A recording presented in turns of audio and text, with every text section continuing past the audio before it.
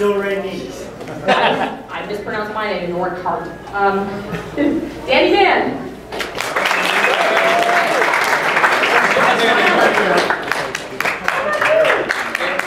David, why? Why is David Wise not on here? Uh, because I was a late minute This addition. the boy because I said couldn't make it really tomorrow. nice. All right, yeah, okay, David Wise is here.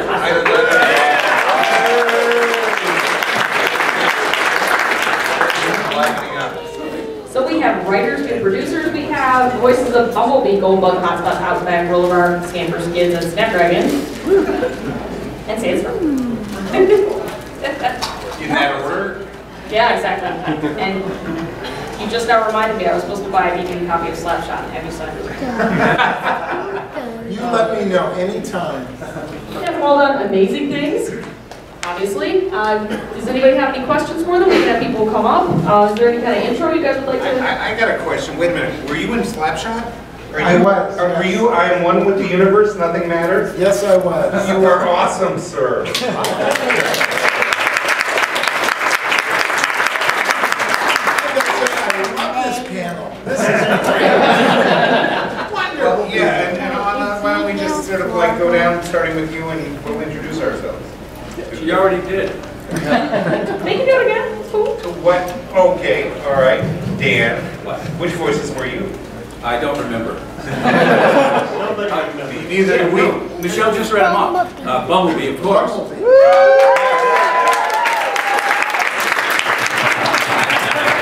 Don't prompt me. Um, uh, uh, Hotspot, fire engine, right? Yeah. Uh, um, wait. I did the Australian one, um, about Hot Outback. And here's what's weird. Um, I did it, and so did Greg Berger. And yeah, he claims that, that character as well. And here's what I think happened. Frequently, uh, we had such a large cast toward the end as the season progressed. I mean, there were the, this, the uh, recording studio was just filled with actors.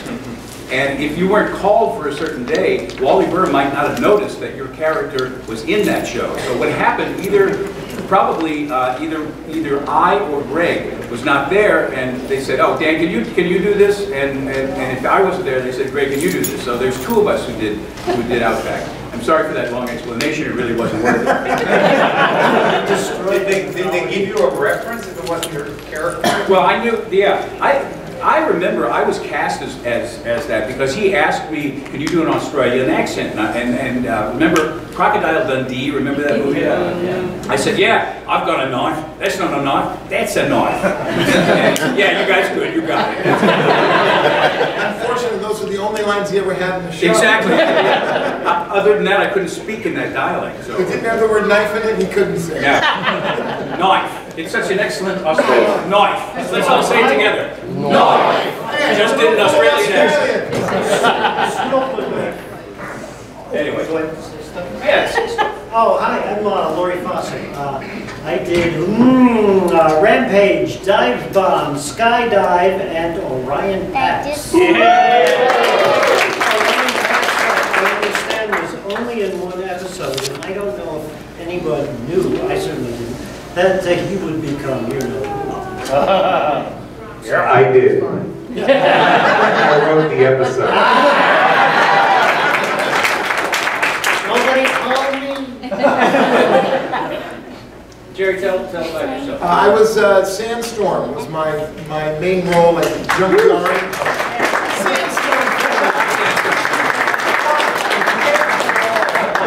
convention I do, they go, is Jerry Houser here? Yeah. It's a Yeah. Uh, I did Sandstorm, I did Junkyard, and Sweep. So those were, those were my three.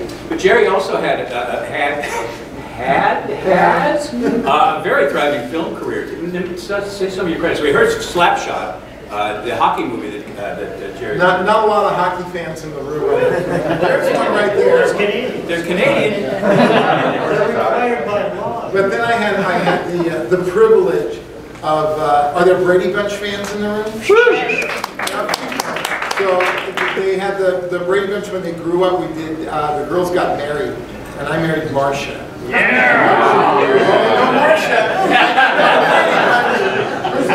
Marcia. So we did, we did many incarnations of that, where we got married, where we bought a house together, where we went for Christmas, and then they did an hour-long version, a dramatic version of the Brady's. If you were sleeping that night, you missed it. Um, But yes, so that's, uh, And, and, and Summer of, oh, going way back, great movie, you guys. Summer of 42, a real coming of age story. Yeah. Uh, you were, what was your character's name? awesome. Oscar.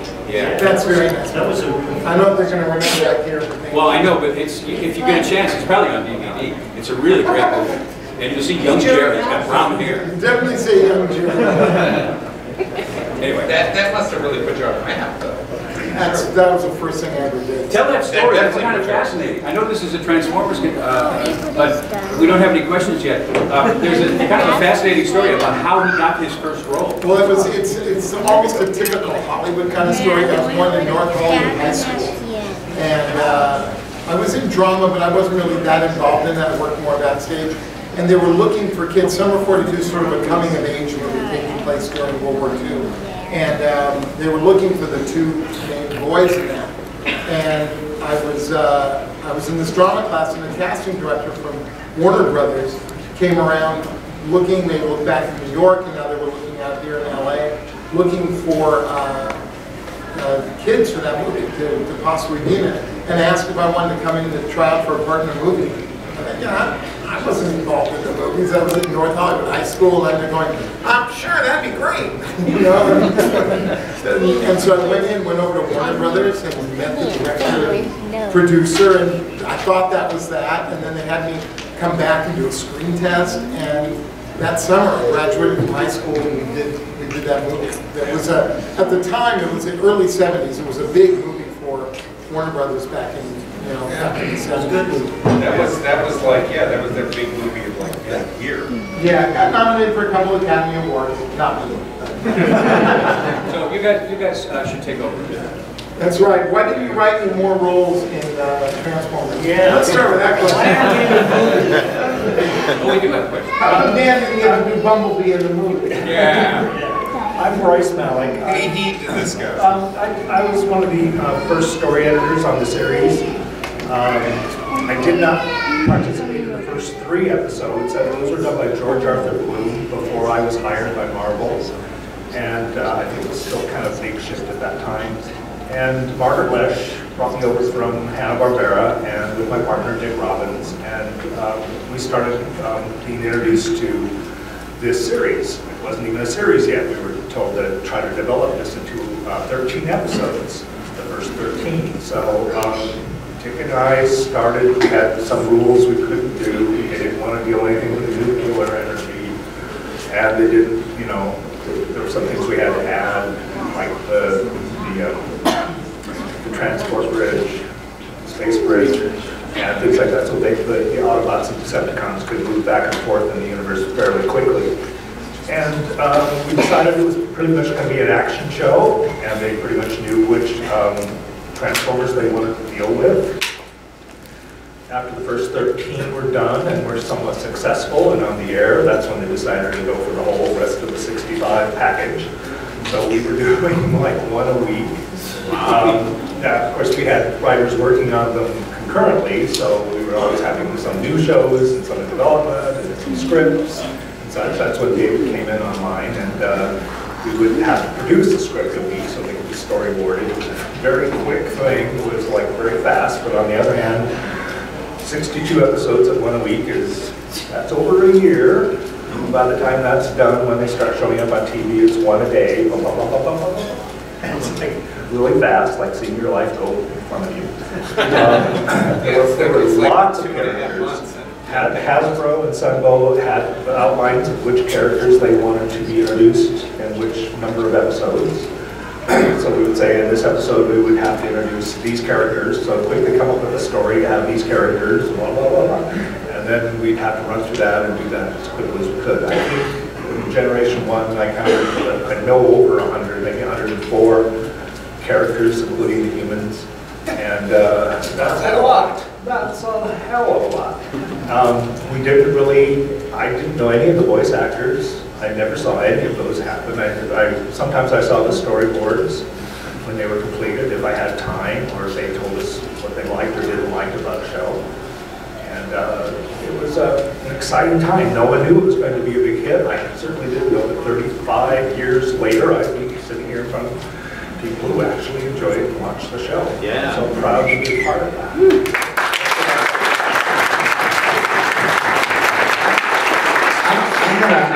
I need to pay heed to what this guy says, because literally, every episode, except for the first three, of the 65, I guess they're called season one, season two, every episode went through his machine in his head and and came out. He, he was, he was responsible for, made changes to, develop the original premises, develop the stories, work with the writers on every episode up until season three, or as I call it, the Nutty Flint Dille season.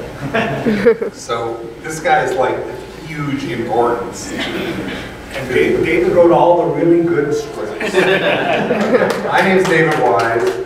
I'm probably best known for taking a crappy little black and white comic called Teenage Mutant Ninja Turtles and and adding all the stuff everybody remembers, like Cowabunga and the pizza and all that that came from me. I'm a showrunner on that for 10 years. I also won the only Emmy the original Star Trek ever won in any way, shape, or form from the very animated Star Trek and won Best Children's. It was the, not only the only Emmy the original Star Trek ever won, it was, it's the only, what they call creative Emmy that Star Trek has ever won. So there's that, but I also worked on Transformers. I wrote Attack the Autobots, Microbots, um, uh, is, uh, Secret, uh, Secret of Omega Supreme, Key to Vector Sigma, War Dawn, Frenzy, The Girl Who Loved Power Glide, Make Tracks, Autobot, Trans-Europe Express, uh, a couple others that I'm forgetting, and the entire Rebirth miniseries that, which by the way had 70, uh, 91 Autobots in three episodes. So you're talking, oh, we had 120 characters over 65 um, that ended what is known as Generation 1 Transformers. And it looks like we've got a lot of people with a lot of questions. with you all. Well, two questions. Well, one comment and a question. I love that shirt. Yes. Yes. I love that shirt. I, Yeah, I love it. Love it. And my question to you is, if Transformers back in the 80s wasn't all about selling toys, just primarily about selling toys and just about telling the story, would you all have written the story a little differently? Yeah, well, yeah, except I never felt it was really about selling, it was only about selling the toys in that, do an episode about this character. I never thought of, we didn't, the toys weren't out, were they? We didn't really see the toys. So it was like, oh, we have these, we have this toy coming out called the Constructicons, right? Uh, so, you know, do, do, do a show about that. We got these, uh, we have, we're, we have Autobot planes coming, so called the Aerialbots, right? So do a show about them. And to us, I mean, to me, I can't speak for you, but it's like they were just characters. They weren't toys. I didn't think of them really as, as, as putting toys on the shelf. What I did know from being a kid myself is that the more personality and the more depth and interest your characters have, the more a kid is going to want the toy, which was my whole approach to it. So, but it ultimately was just really all about the writing. I can't imagine I would have done anything. It would have been fewer characters, obviously. Yeah, that's, there would have been, you know, honestly, yeah. Especially in the rebirth. I mean, my God, the headmasters, the target masters, the this masters, the, the- it was just ridiculous. Yeah, But yes, that's well, well put. That was the, the joke back then, you know, I'd come and I'd do an episode and I'd be gone for a long time and I came back and it was Michael Bell, I came back and I said, hey, Michael, he went, hey, I haven't seen you in a while, Jerry, what's wrong, your toy not selling? That's why they killed Optimus Prime in the movie, was that they sold all the Optimus Prime toys that they were gonna sell. And nobody asked me, I had no involvement with the movie, but when I heard that, I was like, do they have their frickin' minds? Killing off Optimus Prime? That's not how you do it. you know, but, the- but they had a a new wave, I guess they call them, of toys to sell, so, yeah, that's, that's, that's the day, that's, that's where it affects the story. Right, right, okay. For the voice actors. Uh, Said brain quiet, I'm sorry. But, um, I loved your book, Dan. I love your book when you told stories. Piggybacking on the book, you told some great stories in that book, and I was wondering if you two also had wonderful stories when it came to, you know, working in the background with Transformers and the other voice actors as well. I like the, uh, the trash, the, the burning trash can story. That was awesome. All true. Yeah, yeah. Yeah, all true. One of you all, uh, you- you, uh, Laurie, Jerry, you had similar Yeah, stories. no, Was He, he, he captured, the- I mean, he definitely had the highlights of what went on in those sessions. I mean, I think you, you talked about the long sessions that, that Wally would have. Yeah, they went on. When, uh, when we started the show, um, uh, the typical actor's uh, day is eight hours uh, with, an, with an hour break for lunch. That's the union. That's the union requirement. So to do uh, a half an hour show, which is actually more like 22 minutes, right? Yeah. Yeah. After you take out the, the commercials and the intro and outros. Um, so to do a 22 minute shows, we would work for eight hours. We would do a table read of the script, and then Wally would flog us for the rest of the day. and I'm talking about, you know, 20 takes, 30 takes of go get him. Uh, until Wally was satisfied that he got the right sound. And then just to add to your story, so what I figured out, because I came in and they- they'd be going, Wally would go take after take after take and be like, you know, okay, Jerry, and you'd always do it this way, okay, we're rolling, and okay, uh, you're up, you know, go get him, right? And, and then the guy would go, go get him, or go get him, or whatever they would do over and over and over again. I'm doing the same thing, you know, it's take after take, until one time he went, okay, let's try it again, Jerry, go get him. And I went, go get him. And he went, great, that's great. And I realized all he wants me to do is what he just said. you know, he has all these actors, really creative guys, and everything else, and everybody's trying to, you know, put their own stuff into it and everything else. And Wally heard it the way Wally heard it, and that's what he wanted to get. And I would get in it, I would get out. He like gave you line readings? Oh my oh, God, yes. Oh, yeah. Oh, he must have hated that. It was the only way to survive. It got me right out the door.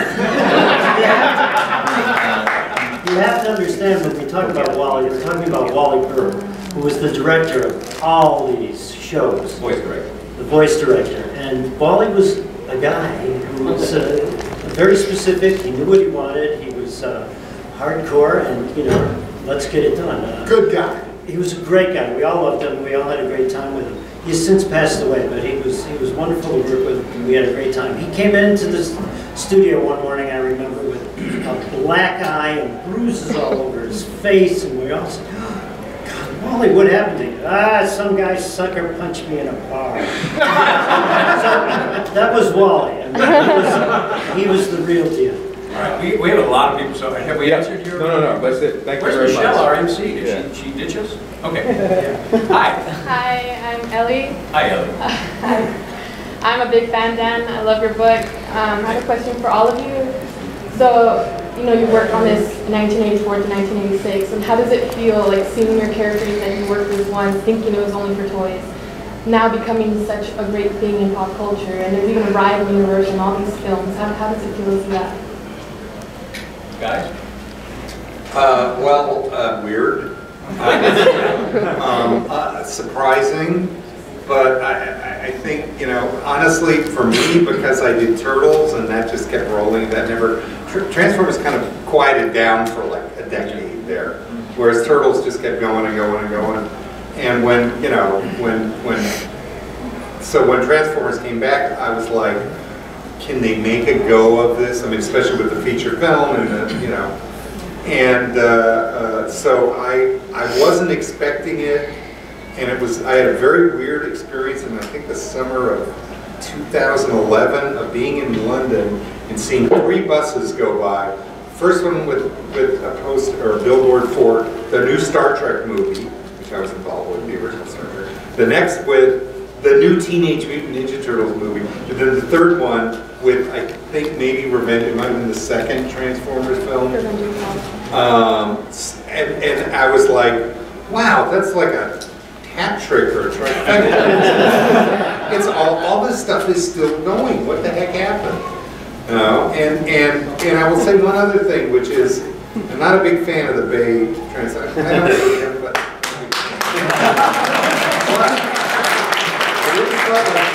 Really felt like Bumblebee was like one of my shows where they finally got it right, because my shows, if you were there when I reeled off all the, very often just had one transformer interacting with one human being in a, and develop, building a relationship, Girl with a Power Glide, Make Tracks, Autobot, all, uh, uh, all of those were basically very similar in approach to the Bumblebee movie, which apparently, am I mis, am am I misinformed, but made like a bucket load of money. Uh, the- How do you, how do you feel about the Bumblebee movie? Dave? Um, I I have mixed feelings about uh, what's happened since we did the show. Um, I'm not a big fan of the Bay movies either, and a lot of the G1 fans. I know what I'm gonna say when I say something, I'm gonna say that. 'cause That's guaranteed applause. Um, uh, So I have mixed feelings about it, but one thing I will say about the Bay movies and the, the the latest incarnation of the Bumblebee movie, which I have not seen, but I understand it's it was a big improvement over what Bay was doing with the series, it's kept it in the public eye. And what's happened is, a lot of kids, a lot of uh, younger people are seeing the movies, and then maybe their parents or an older person will go, well, you know, there- that was a cartoon show back in the 80s. They go back and they look at that, so we build a whole new fan base for what we did. So in a way, it's a good in a way, it's not so great, for me. You know, just, I'm sorry. Yeah, go ahead. You know, in, in uh, reference to what you said, is first of all, I'm not a big fan of the Bay.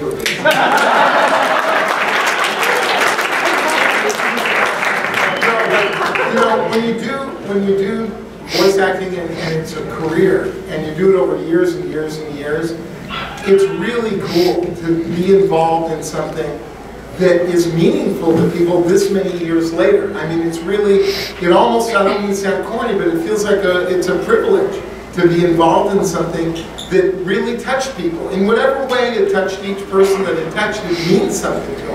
And to, and to do that and be a part of that, and you were a far bigger part of it than I was, but to do that is, I don't know, it feels very special now. I, it- you know, I'm glad I'm, it me excited you had a chance to be part of that. And we had certainly no idea.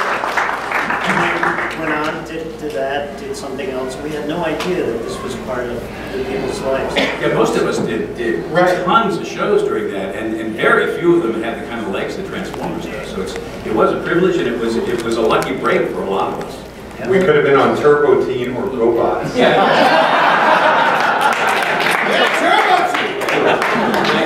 Did we answer your question? Yeah, I have one more for you, Dan. All right. I brought the book that you have. Do you mind autographing it? Sure, uh, come, come by the table after the, after. Okay, the- thank yeah. you. Sure. like Laurie said though, and is that you also didn't know that it was having an effect on people. You go in, you do it, you do it. I mean, you did all your episodes long before you really knew that it was anything. I'll tell you, here's, here's something, this is, I don't want to get maudlin, but I will for a second. When I did my first convention, this kid in a wheelchair came up. And um, he said, I just want to thank you. I was going through a really difficult time in my life, and that show helped me get through it. And I was like, wow. I mean, something that we did actually had that great an effect on someone's life. And you want to talk about an honor and a humbling uh, experience?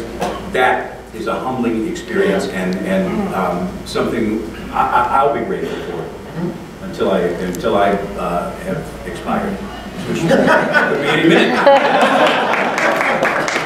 Uh, Gentlemen, thank you for coming. I mean, first of all, I just want to say thank you to all of you, uh, not just for being here, but for what you've done, because you guys helped create something. You guys helped start something that, to me, like, you feel these characters on a sensory level. Like, you feel these characters like you feel Snoopy and Charlie Brown and the Peanuts, or Scooby-Doo and Shaggy. You feel these characters, you don't think about them. And I feel like without you guys, that doesn't happen. So I wanted to personally thank you for that. And for David, uh, J.J. Abrams, Bob Orci, and Alex Kurtzman can eat their hearts out because they never got an to start about. Um, so I, I guess my question is for you gentlemen, when did you realize that, because you know, if, you know, you're doing a lot of these shows back in the 80s when we're having all, when we have the deregulation and they're able to do all these cartoon and toy shows, but when did you start really realizing that this one, I guess, had legs and that, wow, people really like this and like what we're doing? I got an answer for that. Ooh, ooh, ooh, ooh, I know the answer to this one. Um, it was seeing the absolute hatred that parents of children would direct at me at the time when I said, oh yeah, I'm working on a show, or I, I wrote for a show that was on last year called Transformers. And they were like, that was you? My kid wants every one of those.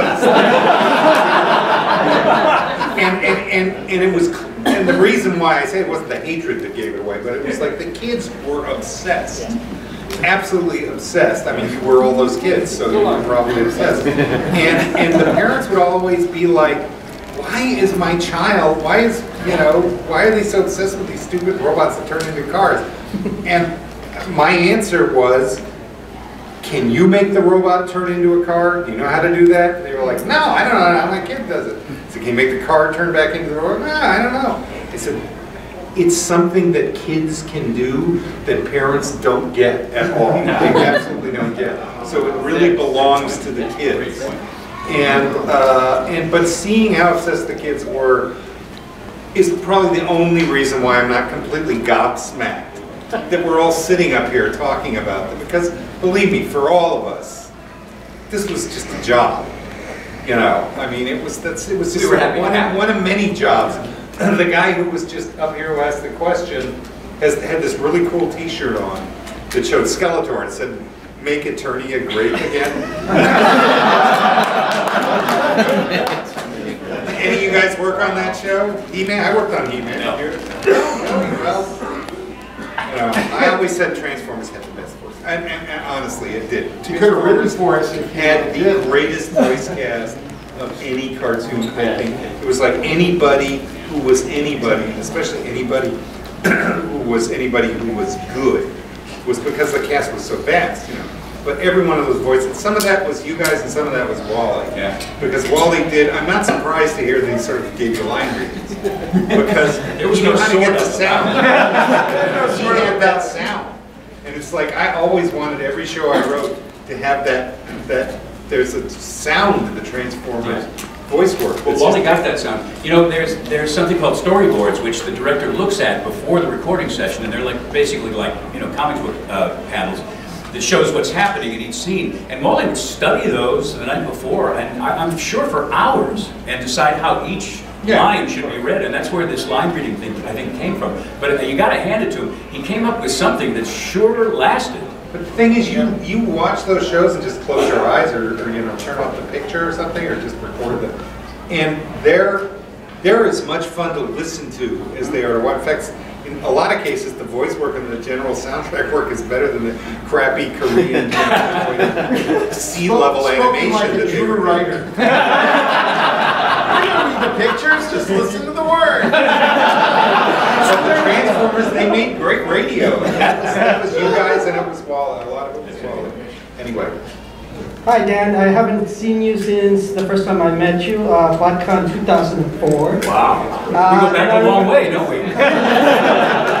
I've been going to do that for a long time. Uh, anyways, uh, I remember uh, when the first movie was coming out, somebody asked you a question about the movie and you said as uh, what you thought about Bumblebee in that movie and you said, and this is very funny because I still remember, you said you, you were interested to see how, what they would do as long as it's not Danny DeVito being naked and yellow.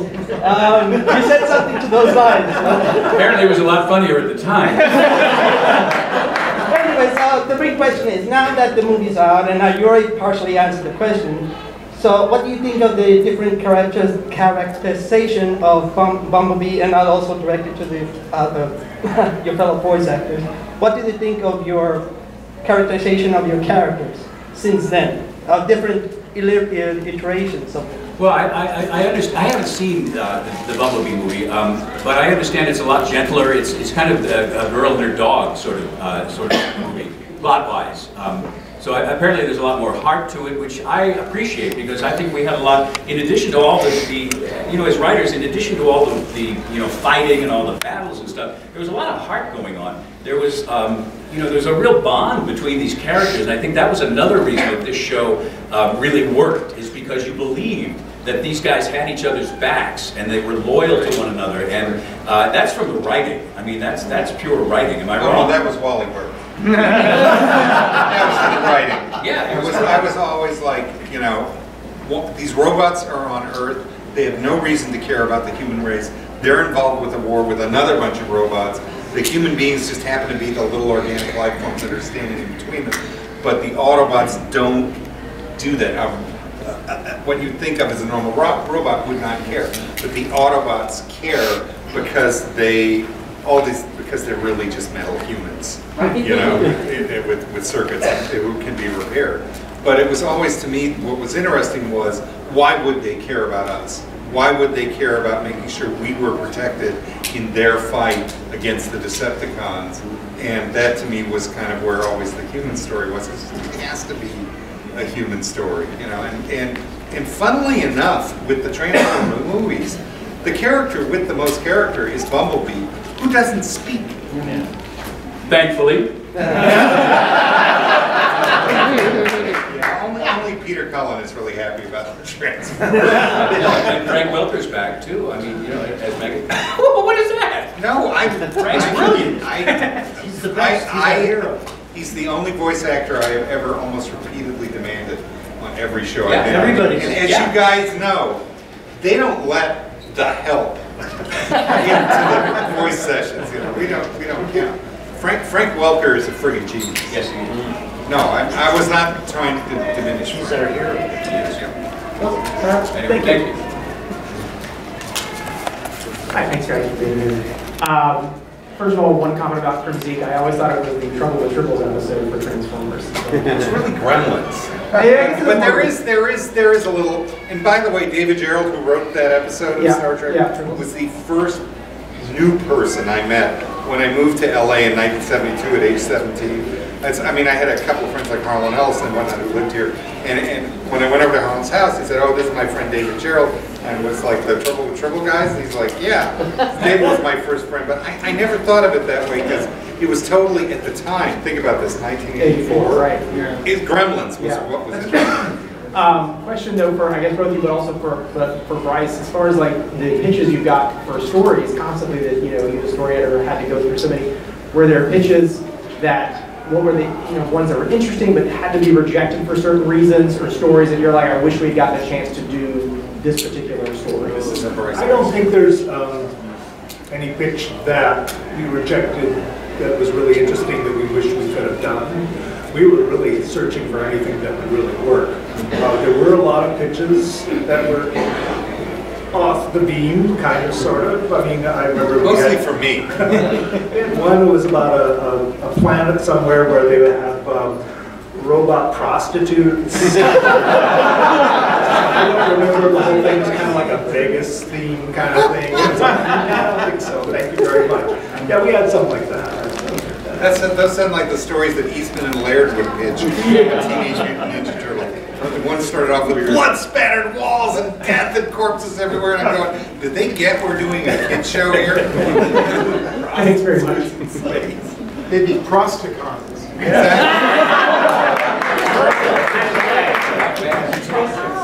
The whole line of toys there.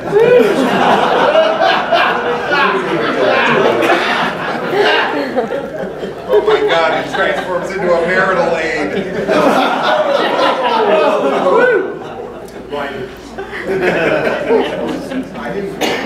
All right, please, bring us back.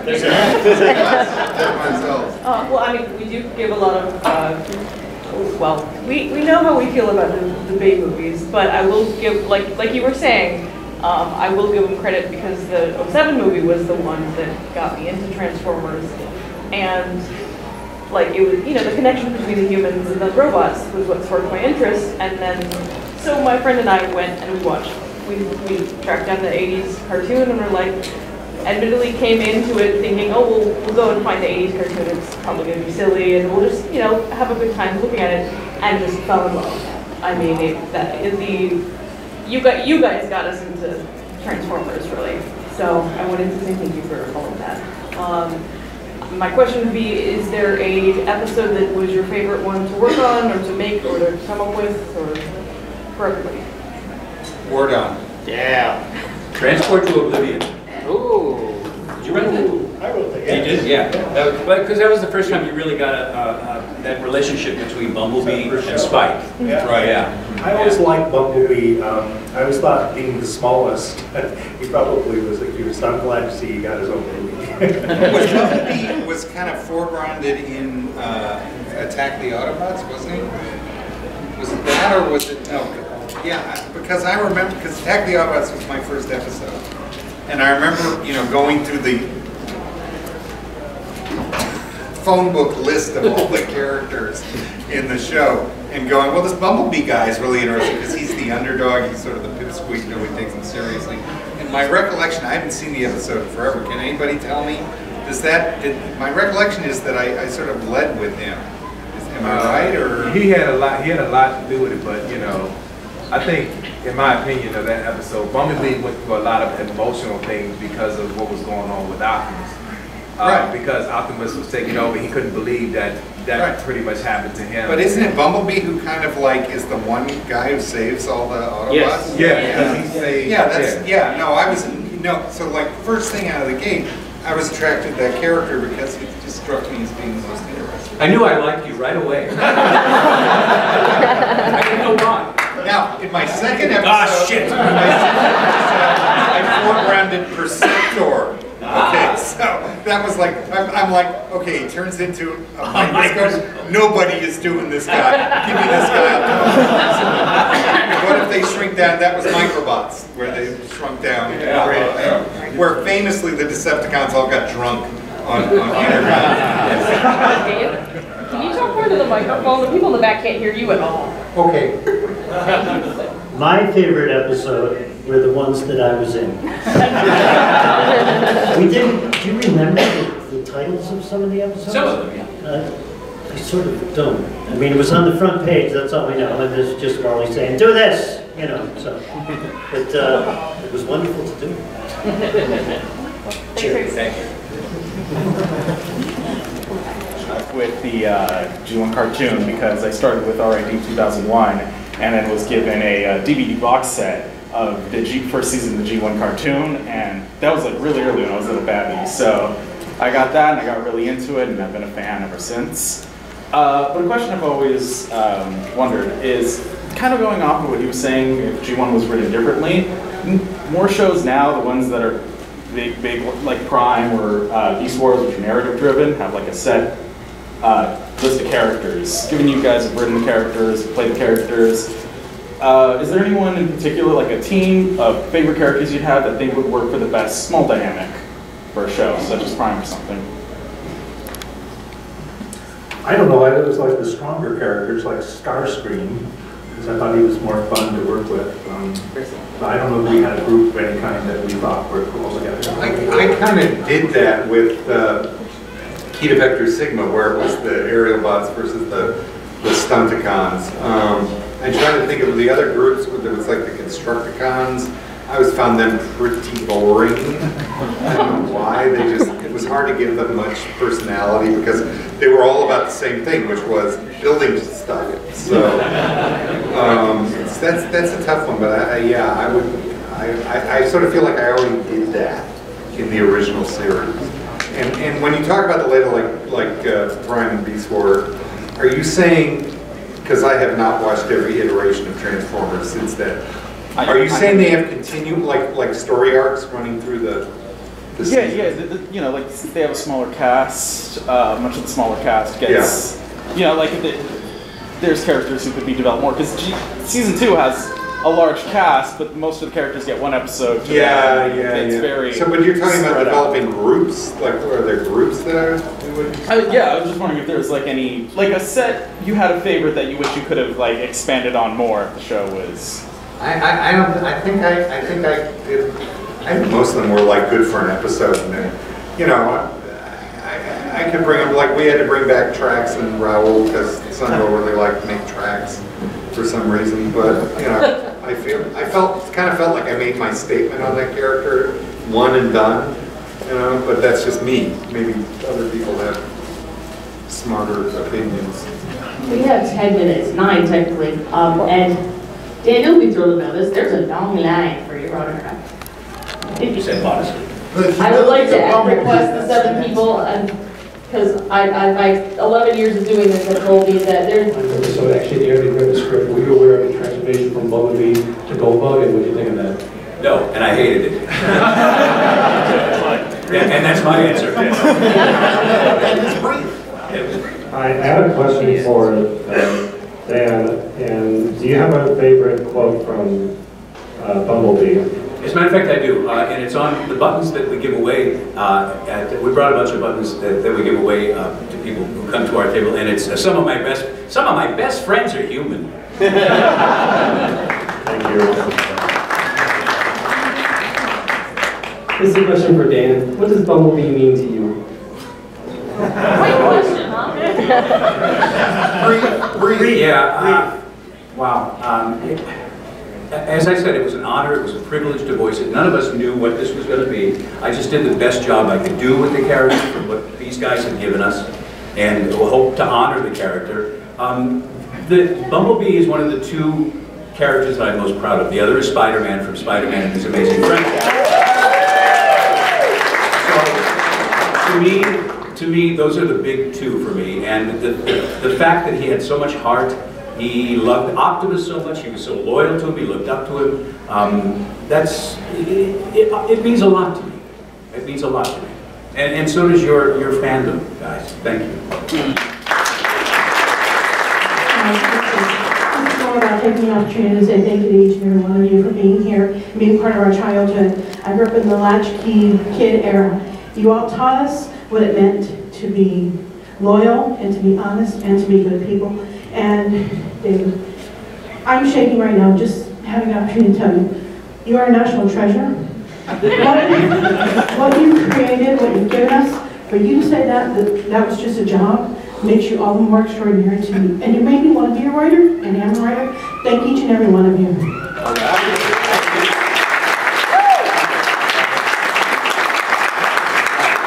Two more questions for Dan. Um, what vehicle would you prefer for Bumblebee?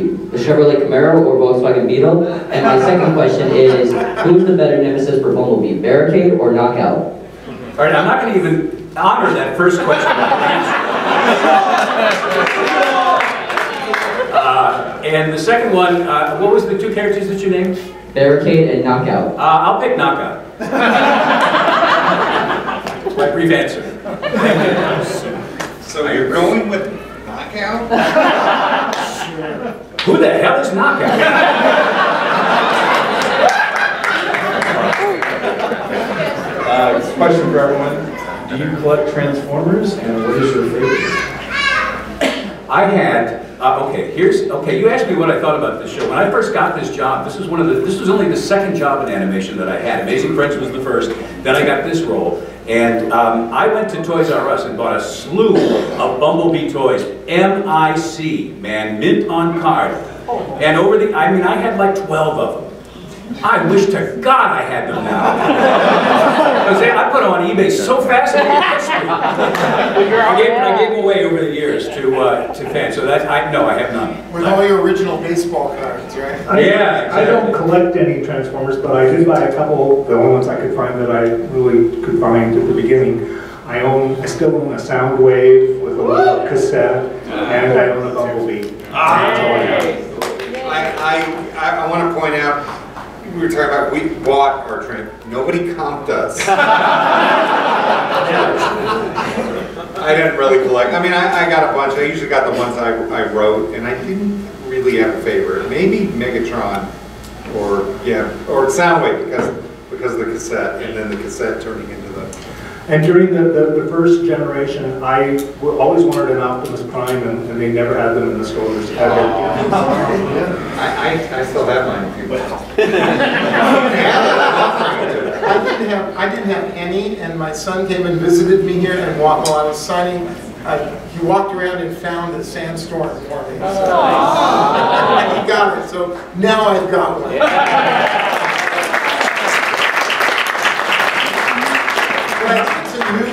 they're different, the, the new versions are different. I didn't tell him that. Next, they're gonna kick us out. You don't, you don't wanna take it and go, this isn't a G1, what is that? We have two more. For G1 in particular, what guided you to include the advanced and technical language? Thank you for not talking down to the kids. I watch it now and I'm like, wow, this is amazing. And for the voice actors, was it difficult to kind of enunciate or to repeat a lot of what the writers had come up with? Did I use a lot of technical language in my? I did, uh, because I, I wrote for the eight-year-old kid in me, and as, as an eight-year-old, I never wanted to be talked down to. So I never talked down to the audience. I assume if they don't know the answer, they'll go ask an adult. Uh, and, and, and most of the time, I just assume they, they knew the answer, so. And that was because that's how I would have wanted it when I was a kid and a cartoon fan. Very nice. the performance side, uh, in animation, you don't memorize the script, you get to read it off the page. So that being the case, it made it a lot easier not having to memorize the, the different terms, the different words, you're able to just read them, figure them out in rehearsal. Right, and write them out phonetically. And then just read them off. Did you ever get a description of the Transformers from like the back of the box or from Hasbro or from the comic book? Yes. Yes. And then oh, yeah. you're like, you know, this character isn't gonna work in the cartoon, I'm gonna change it up. And Do you remember any of that? Definitely. Well, the- at the product description on the back of the box, we had that. We also had suggestions from Sunbow, which weren't always the same. They were sometimes different. And we could pretty much do what we wanted to. There were a couple of characterizations we, we tried and couldn't do. We tried to do one, uh, uh, transformer who was paranoid, and we were told that was like a DSM mental health issue, so we had to stay away from that. But we could pretty much do what we wanted to because they weren't always the same. And the comic books weren't the same either. so. I have to tell a story about Bryce and then I think we're, we're done, but regarding the characters. Uh, so Hasbro, or Sunbow, calls up Bryce and says, we're gonna do a story about Omega Supreme. Uh, not Omega Supreme, Vector Sigma. And Bryce says, what's a Vector Sigma? Now, bear in mind, nothing had been recorded yet, so we didn't really know what was going on. He says, what's a vector sigma? And, and Sunbow says, oh, that's the supercomputer that gave all of the Autobots and Decepticons, all the Transformers, their personalities. And me, without dropping a stitch, he shot back, well, it must not work very well. These guys are all paper thin. The stuff you keep giving us is like nothing.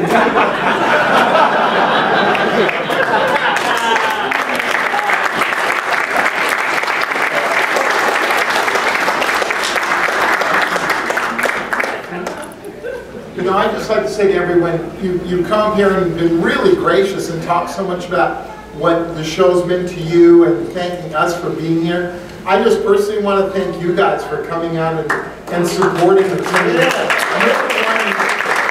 you are the ones that continue to give this life and continue to give it the, the life that it has. And, and it means the world to me, so thank you very much.